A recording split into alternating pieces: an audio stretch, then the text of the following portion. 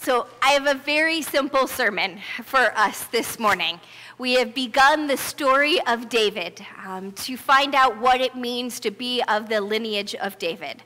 This is a time when Israel is in crisis, and we are going to follow David as a leader in the midst of that crisis, pairing with these scriptures the prayers um, from the Psalms that he prayed, so that we can begin um, to look and see and wrestle with a biblical model of how we can follow Christ um, and follow God's vision um, for God's kingdom in the midst of some difficult things, whether that's something that is done to us or something that we have caused.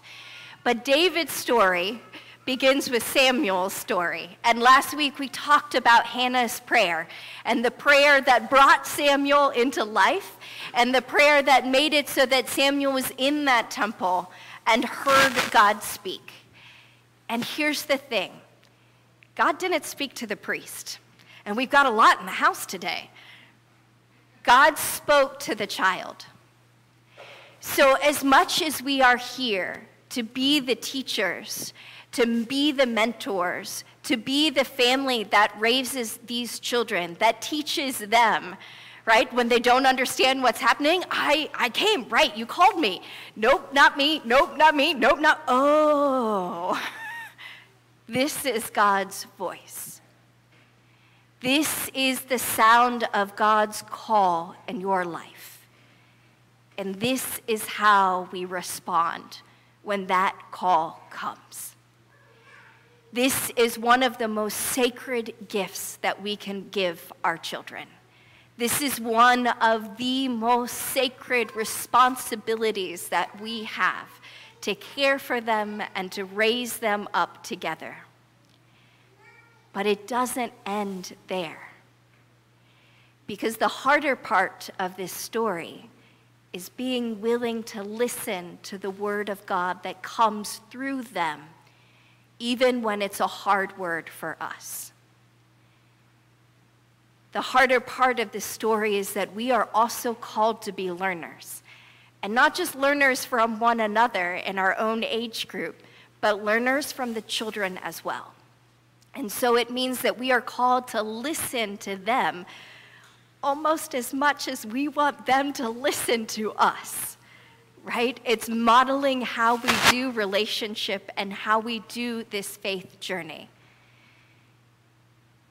And if Eli, as a priest and as a leader, got nothing else right in terms of thinking Hannah was drunk when she was praying her soul out, in terms of letting his sons sin and abuse the power of the priesthood, he got this moment right.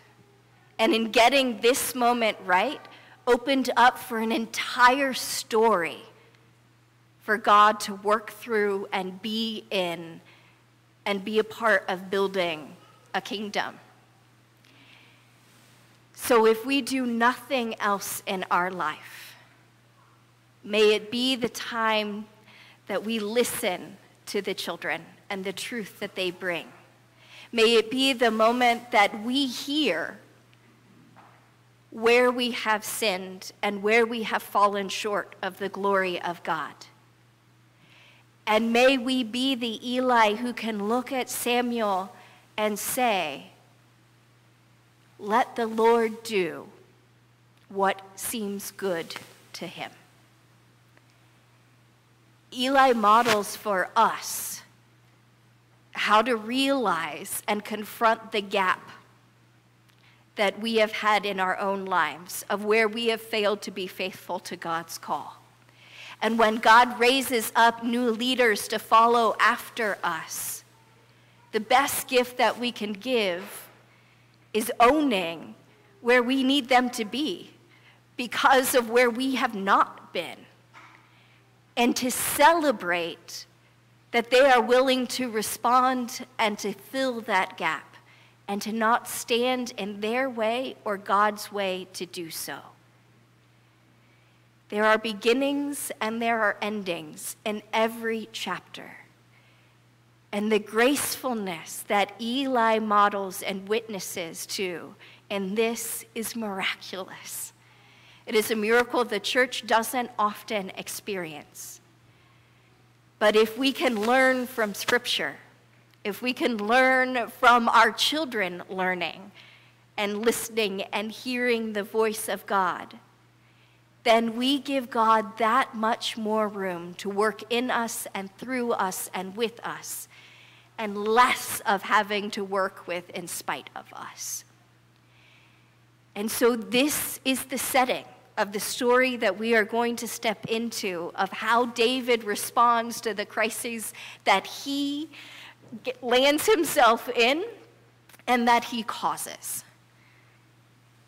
And this story begins in a child hearing God's call, and a teacher helping that child understand what was happening so that he could answer and be there for God, and in a teacher who is willing to take a step back to allow God to work through that child. And all of this begins at a time when the Word of God was rare in those days. And I know from conversations that I've had with you, there are other people who feel that same rarity in what we are facing today. So may we listen, not only for God calling ourselves, but for what God has brought from in any unexpected place where it comes. Because this time the word of God didn't come through the priest, it came through the child. So may we be ready to hear the word of God wherever it comes. Amen.